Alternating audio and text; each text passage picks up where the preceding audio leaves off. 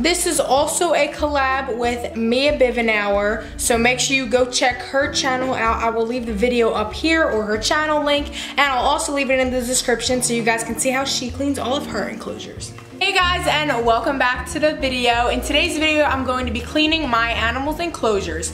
If you are a dedicated subscriber you might want to stay for this portion of the video because I'm going to be updating you guys.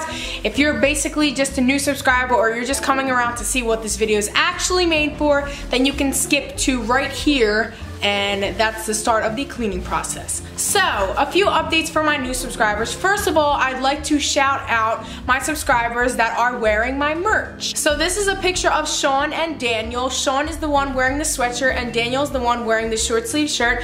So thank you guys for purchasing my merch and it looks great. Alright, so here's the downside of the updates. So, you know, cue the black and white filter and cut the music. So as you guys know, I uploaded a video a while ago, not too long ago, but like a month ago on my betta sorority tank. Unfortunately, all of those betta fish passed away. So here's the whole story, just basically a summary. What happened was I thought it was an aggression issue. I was monitoring the tank to make sure there was no aggression between them or if there was like any odd one that wasn't getting along with the others. It wasn't until shortly after where I saw one of them on top of the water completely dead. That whole day I watched them to make sure there was no aggression and still everything looked fine. So at this point, I was kind of skeptical and kind of more so thinking that it might be a bacterial infection. The next day rolls around and like two fish are dead, so I'm getting very concerned. I go to PetSmart and I get the water tested and everything is still fine. As the days went on, they all started dying and I didn't really know what was going on. I went to the store, I bought every medicine I could, I asked people, I researched, I treated the water, I did everything that I possibly could to get them better or keep them alive, but unfortunately, I've come to the conclusion that it was a bacterial infection from one of the fish and they all ended up getting it. My pleco is still alive, which is on the brighter side, but unfortunately the rest of them are gone. I deleted the video because I was just really like aggravated and at that time I was like, I just don't want to own any more fish and now that I have the axolotl, I'm like very extra with her, so I make sure like everything's, you know, set right and I make sure I check everything like daily. I don't play around with her. It's just that I'm in a sensitive spot with betta fish right now and I just like, in a, I was in a discouraged phase, so that's why I deleted the video. So if you're wondering, hey, where's your betta sorority tank?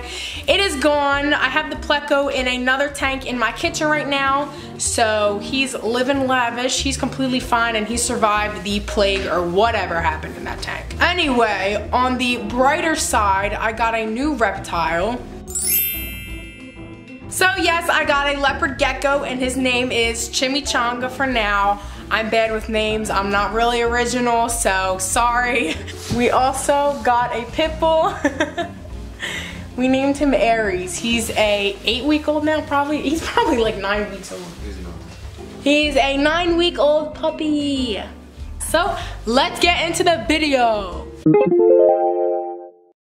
Alright guys, so we are cutting right to the voiceover. I haven't done one of these in a while, so this is pretty exciting. But anyway, so what I'm doing right here is I'm taking all of Fit's decorations out and I am vacuuming her tank because the old calcium gets under the carpet, on top of the carpet, and now I am just spraying down Fitz's tank because it can get dirty sometimes. You know, with the uh, food and whatever that is. I actually have no clue at all what that may be. Interesting. Fitzley's on the hammock, so I don't know. Maybe she licked it or had some food on her face because she uh, has food on her face sometimes. This is really weird. Like, I don't know how to act. Anyway, so now I am putting the carpet cleaner on Fitz's rug and this is like a really good carpet cleaner guys. Like I highly recommend this. It works wonders and I mean the salt and vin no the vinegar solution works really good but this one gets more of the tough stains out. And now I'm just wiping the sides only of Fitz's water bowl with vinegar just in case anything got on them and I'm doing the same with the hammock and now I'm just going to be putting everything back into place as it was.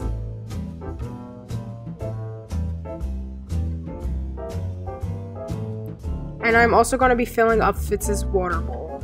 And putting Fitz back in her tank. Oh, by the way, guys, I'm getting Fitz a new tank soon, so what an upgrade. So this is the final reveal of Fitz's new clean tank.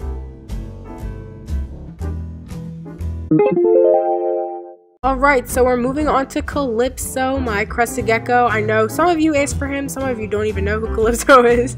But this is my crested gecko who has a frog butt. You know, his tail fell off and everyone clowned me for it.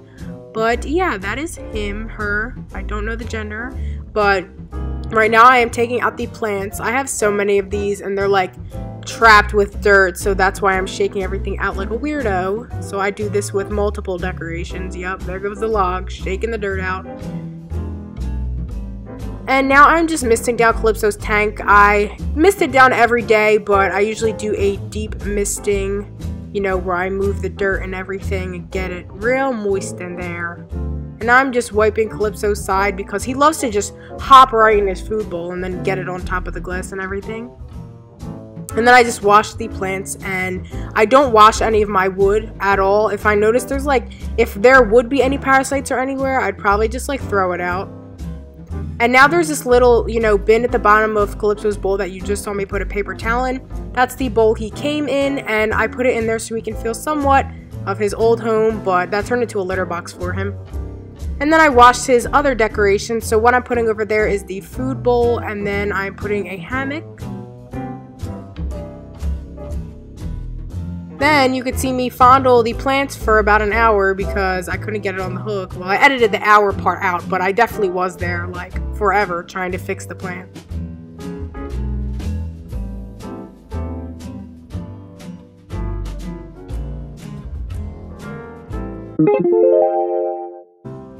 And now Chimichanga, the new leopard gecko I got. So I really don't need to clean his tank because he's fairly new. Um, I wanted to take him out to show you guys. He loves giving kisses, so he loves licking me. Yeah, he's so cute. so what I'm doing right now is I'm just like fixing some stuff because usually the tree is against the glass, but the water bowl gets in the way sometimes. So I'm just fixing all of that. And then I'm pouring some new water into the water bowl and then soaking up the calcium that Chimichanga has spilled. And here I'm trying to show you Chimichanga, but he wasn't there. I mean, he was, but it was too dark. And this is his tank. And then I decided, why not take care of the crickets and the deceased ones that are just sitting in that container. And here you see Kit Kat, you know, running into everything. So what I have in here is, I usually have a lot of egg cartons, but I didn't have it this time, and some paper towels and some old vegetables because the crickets have passed away, sadly, and have been eaten. But I'm just basically cleaning everything out and dumping all of their leftover poop into the trash can. And then I'm just going to be getting another paper towel, soaking it a little bit so, oh, this time I'm soaking it so I can wash it down. And then usually I would soak a paper towel so it stays its form inside the container, but that one did pretty well dry. So yes. And these are the three Eugenes. These are my three hermit crabs that I have, and they are still fairly small, so they are baby hermit crabs. I usually feed them in the morning, so that's why there's no food in there. I had cleaned it out earlier, so now I'm just basically digging in the dirt to find them to show you guys because they love to burrow.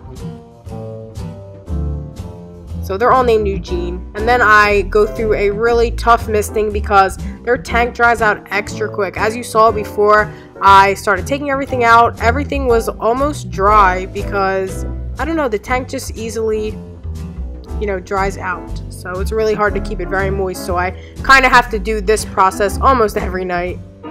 Like, which means, you know, moisten up the dirt and everything. So basically what I did was I just took everything out, moistened up the dirt, rinsed everything off, and then I have the hermit crabs in there. So yeah, they're little cuties.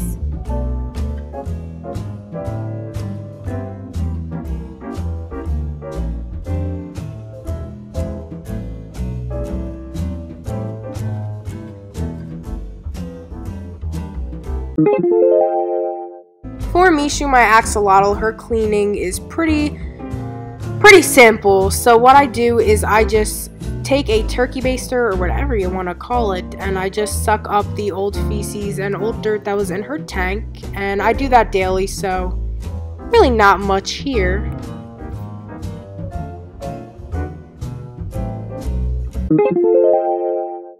Okay, and now for Kit Kat, I'm just pretty much emptying out her litter box of any leftover poop or pee. And I didn't really show you that because I thought it was kind of disgusting, so I didn't want to, you know, make this explicit. And then I'm going towards her cat condo, which Ares is under. So what I do for her cleaning, I just vacuum around it because she loves to rip up the rug. And then I fix her food and water bowl because sometimes she'll spill it or it will be the dog spilling everything. and then I'll, you know, sort everything out and make sure I clean up the pet toy box so everything can be organized even though it just gets ripped up the next 10 minutes. But that is fine. And then I put Kit Kat's food up there only because the dog likes to eat the cat food and he's done this many times and I don't need him getting sick over kitten food when he is a puppy. And that is pretty much the Kit Kat condo. She ripped the ice cream that was hanging off that blue string there.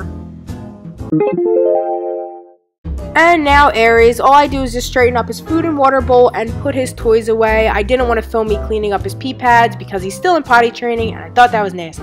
Okay guys, so I hope you all enjoyed this video of me cleaning and how I basically clean my animals' enclosures, literally every single one of them. If you haven't checked out Mia's channel, you should go do that right now. The link will be in my description and thanks for watching. Stay tuned for the next video.